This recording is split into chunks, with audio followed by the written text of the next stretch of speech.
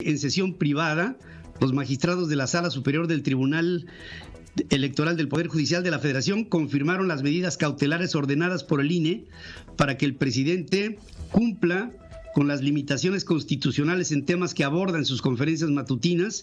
Asimismo, de acuerdo a información de fuentes electorales, los magistrados decidieron otorgar atribuciones a la Comisión de Quejas y Denuncias del Instituto Nacional para que pueda actuar y ordenar suspender transmisiones si considera que están violando la veda electoral. La sentencia señala que se apercibe al titular del Ejecutivo para que cumpla con las medidas cautelares y restricciones legales y en caso de no hacerlo, entonces la Comisión de Quejas y Denuncias podrá ordenar de manera directa y sin trámite alguno a cualquier concesionaria pública o privada que cese la transmisión cuestionada.